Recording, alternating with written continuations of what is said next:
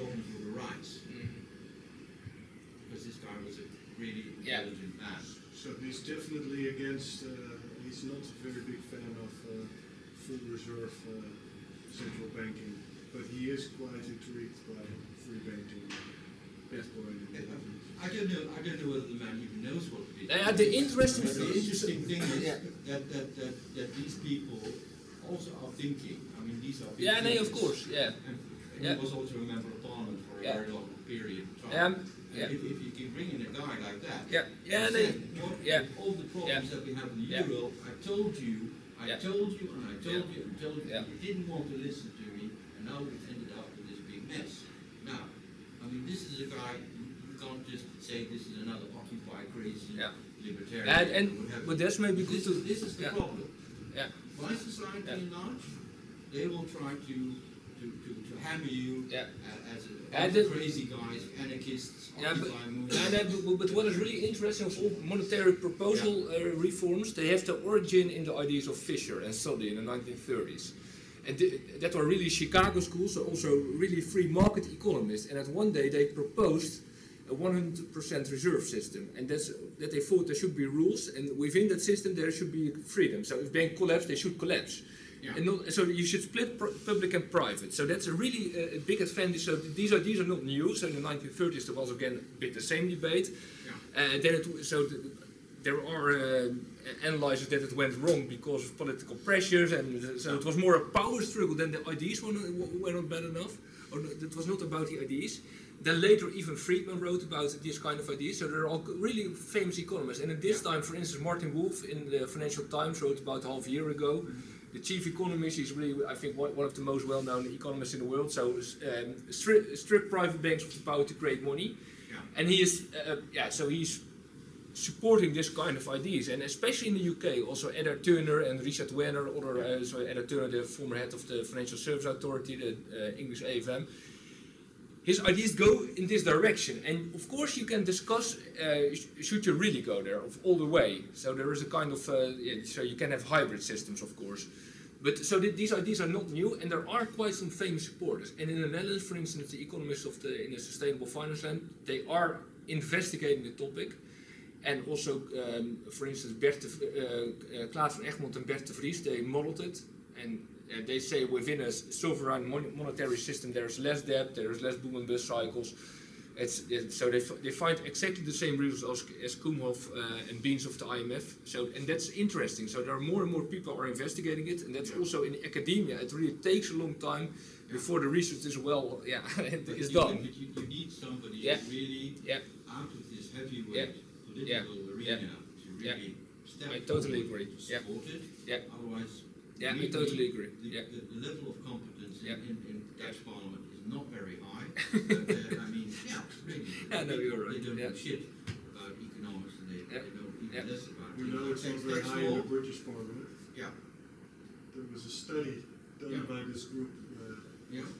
the less than 10% understood anything about Yeah. money creation. Yeah. Yeah, this week I, uh, I was at one of the heads of a Dutch par- uh, of leaders of a Dutch uh, political party, and I had to explain the money creation. So that's in the Netherlands exactly the same. It's just one, but it's everywhere. So people are uh, they only discuss uh, leverage ratios. They only discuss uh, the, uh, yeah, the culture of banks, but they don't discuss the system.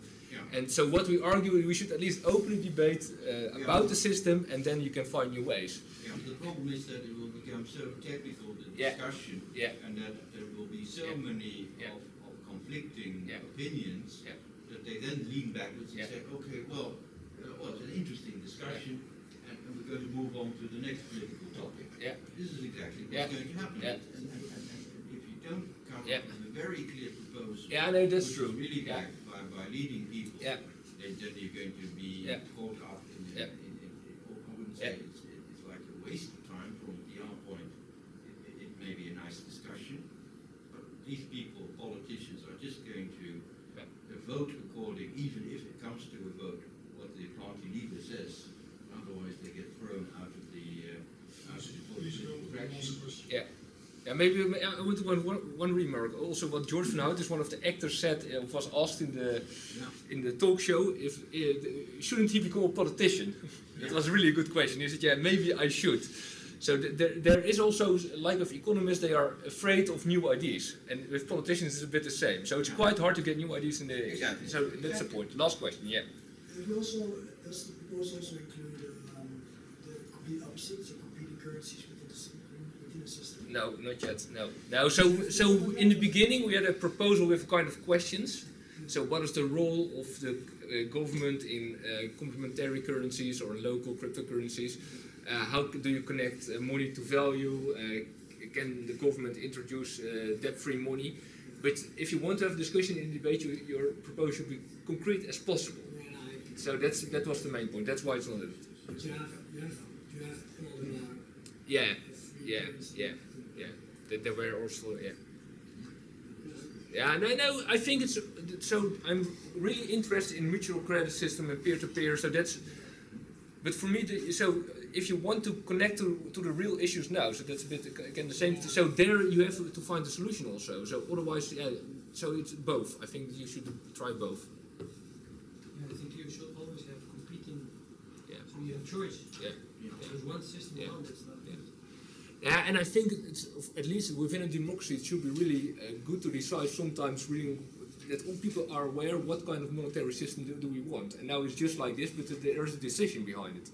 And if you say, yeah, we have a free banking uh, system, all people agree, okay, do we want full reserve banking? If, if all people want that, okay. But we should be aware of it. And now nowadays people are not aware of it. They, they think it's just, yeah, it's given by God or by nature that is this monetary system. Yeah, it's difficult. Yeah, it's difficult. But I think you really have to take the euro as, as a starting point for the problems. Yeah. And a lot of Yeah. are Yeah. still very much Yeah. hidden. Yeah. Uh, like for example, Greece and the Yeah. defaulting Yeah. of, of Yeah. Greece on, on these loans and Yeah. all these other shaky countries that are part, Yeah. part of Europe.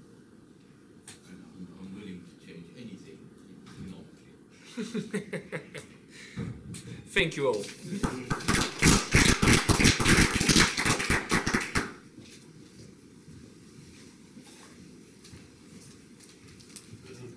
Okay, uh, Martijn, uh, thank you for giving your presentation.